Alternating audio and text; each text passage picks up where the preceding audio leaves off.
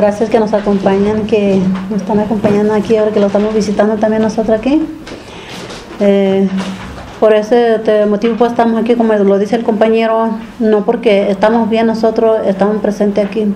Por algo, siempre yo creo uno tiene que caminar a donde le corresponde, pues, a ver dónde nos pueden escuchar nuestras voces, ¿verdad? ¿Dónde puede salir el respeto? ¿Quién puede ordenar a que nos respeten? ¿Quién puede ver a que nos respeten a las comunidades indígenas? Y por ese motivo aquí estamos, saber si podemos ser escuchados, pero nosotros tenemos que caminar hasta acá y por eso aquí estamos presentes. Bueno, con eso nosotros venimos por la cuenca del río San Pedro, le llamamos río libre, porque así queremos que sea libre, pues por eso le llamamos río libre. Y ahí tenemos 18 eh, lugares sagrados.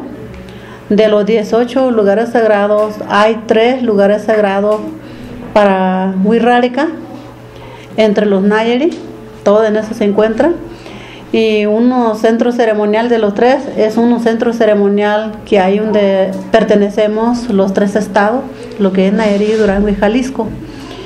Por eso nosotros estamos defendiendo, porque no es no es este, tan fácil que lo pueden cambiar a esos lugares sagrados. Como quien dice, es como un árbol que está bien arraizado, no es de ayer ni de hoy.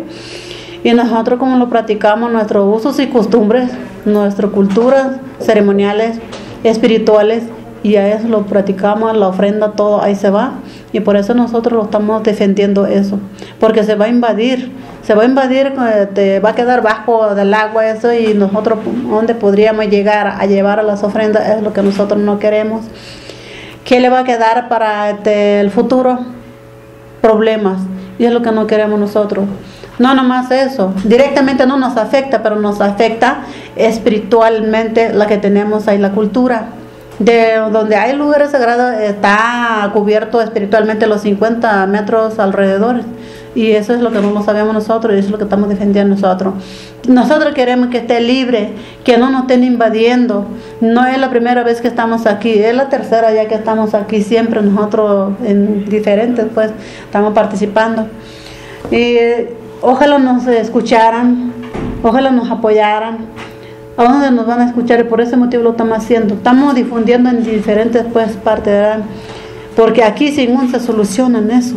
Yo como mujer indígena me duele, me lastiman. ¿Por qué? Porque nosotros los indígenas, sean Nairi, sea Oda, sea este, Nahua, Huirrárica, nosotros somos raíces de México. Eso es lo que nosotros nos lastima, que nos respeten nuestra identidad, nuestra cultura, así que quede libre para el patrimonio. Nosotros siempre eso estamos pidiendo, porque nos van a invadir, no nomás a nosotros, Costa Baja, donde nos este, corresponde terrenos todo tan cerca, algunos ejidatarios, todo eso, los campesinos que trabajan, ganaderos, tanto como Marima Nacional, ahí todos en boca y eso es lo que nosotros no queremos. ¿Qué está pasando? ¿Por qué no nos informaron, no nos este, consultaron como pueblos indígenas? Nada, nosotros ni sabemos siquiera. Ya después llegan presentando cómo y ahí nos quedamos sorprendidos nosotros qué está pasando. ¿Dónde está lo como lo marca la ley, el artículo 169? ¿Dónde está? ¿Cuál es el respeto? ¿Por qué nos tratan así? Y eso es lo que yo siempre lo digo, todo como los representantes nosotros siempre estamos adelante defendiendo eso. No venimos por otra cosa, lo que necesitamos nosotros que nos respeten nuestra identidad como pueblo indígena. Eso es lo que queremos.